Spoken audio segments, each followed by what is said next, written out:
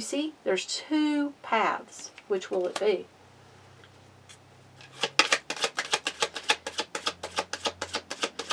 Looks like one path leads towards the light and one leads towards the dark. So, yeah. see if this is anything here.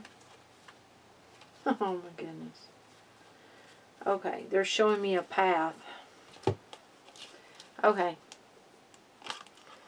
Looking for your ships to come in. Figuring out where you want to go. What you want to do. Waiting for those ships to come in. Ace of Cups. You see the eye? The eye is drawing me. Um, you know, the eye all seeing.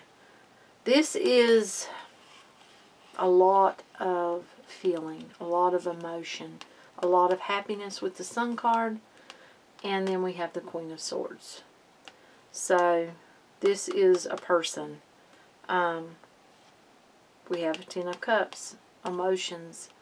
Um, that's very fulfilling, it feels like. And then we have the Emperor here and the King of Pentacles. This is different. This is like one person, but it's not this Queen of Swords. This is two different people, but this is not the other path.